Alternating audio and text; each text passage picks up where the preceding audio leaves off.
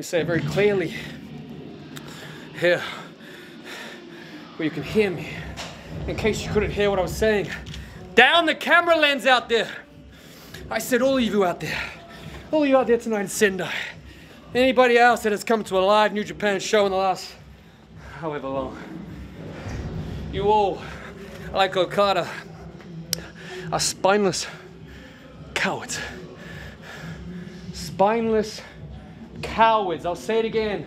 Slowly and clearly. Spineless cowards. This life doesn't last forever. The people in it, they don't last forever. All of this professional wrestling, as you know, it's not going to last forever.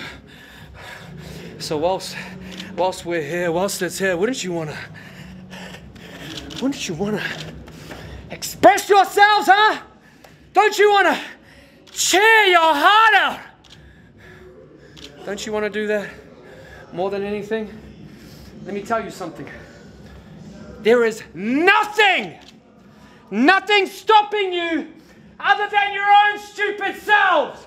All you have to do is open your mouth and make noise like I'm doing right now, see? It's not hard.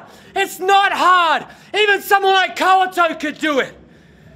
It's not hard. Open your mouth. Please.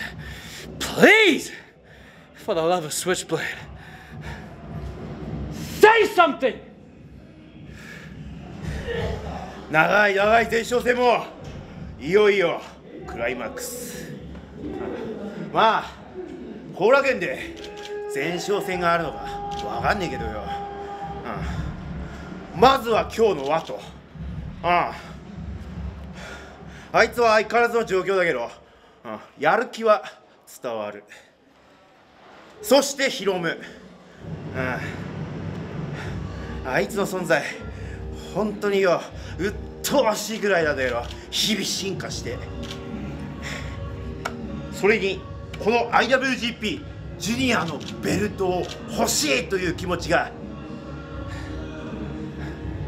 逆にうざい。そしてそしてデスペ。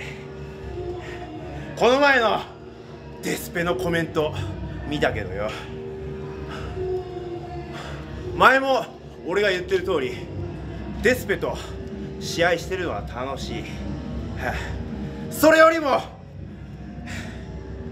この前の最後の言葉待ってたよ、うん、デスペの口から出る、うん、一番似合う言葉はチャンピオンになりますよ。とかだよな。なぜだかわかるか？なあ。デスペは永遠のチャレンジャー様。だからだよ。まあ今回の放映挑戦者3名は残念ながら俺から勝てることはないけどまあ